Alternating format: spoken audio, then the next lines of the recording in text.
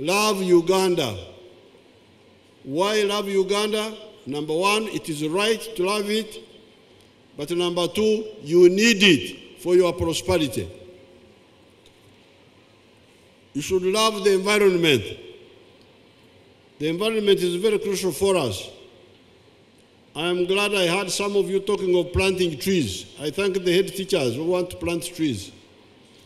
The environment is responsible for our rain and for our water and for our good temperatures.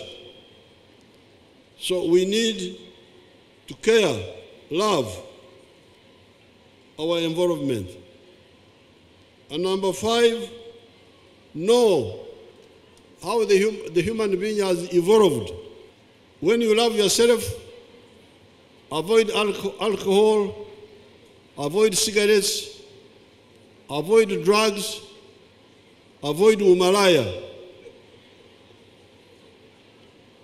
But also study.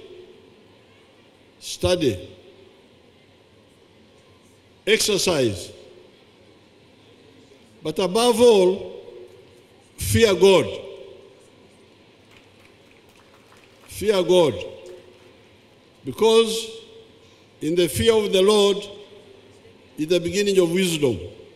This organization becomes Uganda Patriotic Youth Forum, bringing together more youth who are not only patriotic but also morally upright, strong on integrity and servant leadership, and are not scared to make sacrifices to stand for what is right, so that we build a generation with strong values to respect each other and to respect all those in authority.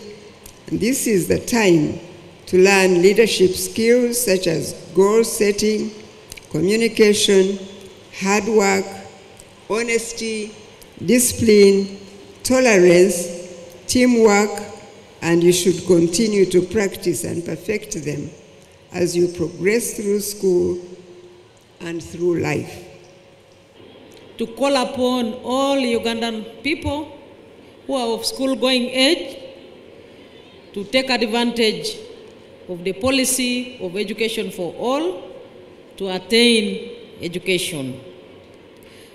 And secondly, to call upon all those students who are here and all those who are not here to make the best use of the opportunity they have of being in school, use their time effectively and efficiently and sufficiently in order to be the good builders of Uganda.